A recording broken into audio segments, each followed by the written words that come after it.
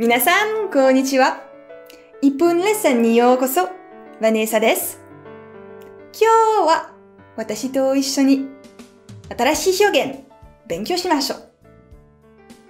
ça m'arrange っていう表現を紹介します。ça m'arrange ça m'arrange ça m'arrange 直訳すると、それは私を解決しますっていう意味です。どういうことかというと、それはとてもありがたいです。私には、好都合です。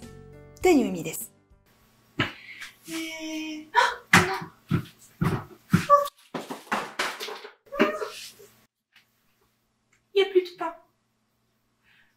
tu pouvais passer par la boulangerie en rentrant, ça m'arrangerait, s'il te plaît. Allô Ah, tu viens me chercher Ah, Merci, ça m'arrange. À tout de suite. Non Tu arrêtes, oui, tu arrêtes. Ça m'arrangerait que tu arrêtes. Stop こういう風に使います。 いかがでしたか ?Si ça vous arrange 何回も練習してくださいね。次回の1分レッスンもどうぞお楽しみに。それではまたね。